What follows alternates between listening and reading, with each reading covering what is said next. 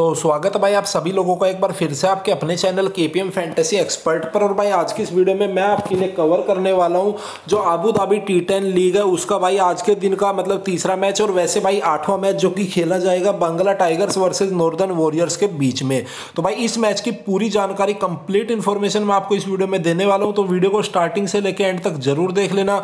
और भाई अगर आप चैनल पर पहली बार आए तो सबसे पहला काम करना भाई आपको चैनल को सब्सक्राइब कर लेना है और बेल आइकन को प्रेस कर लेना ताकि आगे आने वाली वीडियोज़ की नोटिफिकेशन आपको टाइम टू टाइम मिलते रहे। और अगर बात करें डेट एंड टाइमिंग की तो 21 नवंबर यानी कि आज ये मैच खेला जाएगा। टाइमिंग की बात करें तो आप देख सकते हो साढ़े नौ बजे रात को ये मैच खेला जाएगा इंडियन टाइमिंग के हिसाब से। और अगर बात करें यहाँ पर वेन्यू की तो आप देख सकते हो मतलब शेख जायद स्टेडियम जहाँ पर भाई सारे मैचेज खेले जा रहे हैं। पूरी टूर्नामेंट भाई यहीं पर खेली जाएगी।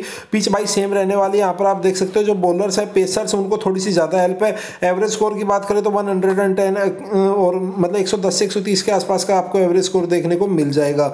और साथ ही दोनों टीम्स की परफॉर्मेंस की बात करें तो आप यहाँ पर देख सकते हो, दोनों टीम अपने दो दो मैच खेल चुके हैं और दोनों टीम ने अपने दो दो मैच रहे हुए हैं। यानी कि दोनों टीम में मतलब मोमेंटम पाना चाहेंगी तो देखते हैं आज भाई किस टीम का मोमेंटम फिर से इसे मिल जाता है या फिर देखते कौन सी टीम फिर से लगातार एट्रिक मारती है हारने की। सबसे इंपॉर्टेंट चीज़ भाई टेलीग्राम चैनल अगर आपने अभी तक हमारा ज्वाइन नहीं किया तो टेलीग्राम चैनल ज्वाइन कर लो, क्योंकि टेलीग्राम चैनल पर आपको फाइनल टीम मिलती है। और फाइनल टीम देखो, जैसे मैंने आपको बता रखा है फाइनल टीम में आपको काफ़ी कुछ चेंजेस मिलते हैं। आप यहाँ पर देखोगे तो यहाँ पर भाई मैंने टॉम मोरस को नहीं लिया जो लास्ट मैच का हीरो था विकेट कीपिंग सेक्शन में। काफ़ी सारे लोगों ने टॉम मोरस का लिया था और यहाँ पर भाई मैंने पोल डाला तो उसमें भी आप देख सकते हो सिलेक्शन ज़्यादा मतलब टॉम मोरस को ही दे, रखा था लोगों ने। लेकिन भाई मैंने क्लियरली बोला था कि अगर आप लेना चाहो ना तो आप टॉम मोरस को ले सकते हो मैं नहीं ले रहा हूँ ठीक है?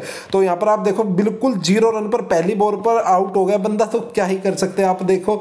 मतलब यूनिवर्सल पिक था भाई आप देखोगे उसका सिलेक्शन परसेंटेज तो सेवेंटी से एट्टी परसेंट उसका सिलेक्शन परसेंट था और भाई देख सकते हो आप मतलब पूरी तरह से फ्लोप हो गया। तो ये फ़ायदा होता है भाई टेलीग्राम चैनल ज्वाइन करने का।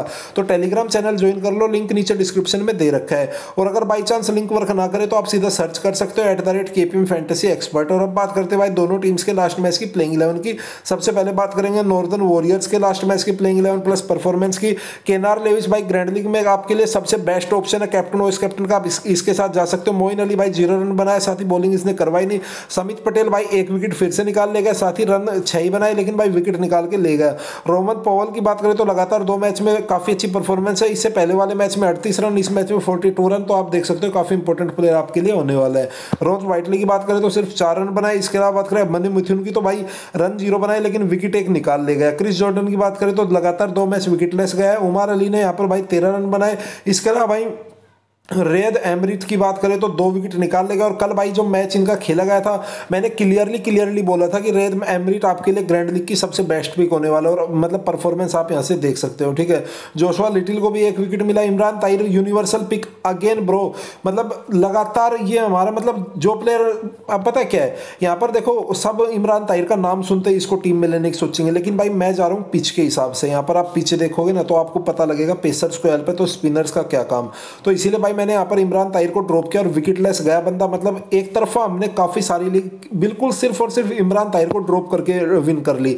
अगर बात करें यहाँ पर बंगला टाइगर्स के लास्ट मैच की प्लेइंग इलेवन प्लस परफॉर्मेंस की तो यहाँ पर आप देख सकते हो इनका टॉप ऑर्डर पूरी तरह से मतलब आउट ऑफ़ फॉर्म चल रहा है। भाई इस मैच में मेरे को लग रहा है कि आंध्र फ्लेचर और डुप्लेसिस काफ़ी अच्छा कर सकते हैं। मतलब इनका टॉप ऑर्डर पूरा टॉप ऑर्डर है वो चलने के कगार पर और भाई चलेगा ही चलेगा। इस मैच में ज़रूर चल सकता है क्योंकि सामने वाली टीम भी थोड़ी हल्की है और काफ़ी अच्छी परफॉर्मेंस ये दे सकते हैं। आंध्र फ्लेचर ने यहाँ पर भाई दो रन बनाए डुप्लेसिस जो टीम के कैप्टन सिर्फ़ पाँच रन बना बना पाए। हजरतुल्ला, जजाई भाई जो ताबड़तोड़ ओपनर है, वो भी भाई ज़ीरो रन पर आउट हो गया विल जैक्सन ने छह रन बनाए जॉनसन चार्ल्स ने पाँच रन बनाए। यहाँ पर नीचे आके थोड़े रन बने।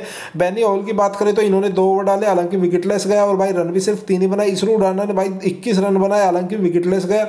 और जेम्स फोकनर भाई लास्ट मैच में एक विकेट और इस मैच में दो विकेट मतलब यहाँ पर टीम इनकी काफ़ी अच्छी थोड़े से प्लेयर आउट ऑफ़ फॉर्म है, इसी वजह से मतलब टीम थोड़ी पीछे लगी हुई है। और भाई मेरे हिसाब से इस मैच को मतलब इजिली यहाँ पर मतलब बंगला टाइगर्स है, वो विन कर सकते हैं। अगर भाई अच्छे अपने पोटेंशियल पर खेलेंगे सारे प्लेयर यहाँ पर अगर बात करें ल्यूक वुड की तो एक विकेट निकाले टॉम आटले ने एक विकेट निकाला। विष्णु सुकुमारन की बात करें तो इनकी भाई बैटिंग बॉलिंग आई नहीं। अब बात करते हैं भाई ड्रीम इलेवन की टीम की तो यहाँ पर भाई मैं आपको डेमो टीम देने वाला हूँ, लेकिन मैं फिर से बोल रहा हूँ फाइनल टीम आपको टेलीग्राम चैनल पर मिलेगी।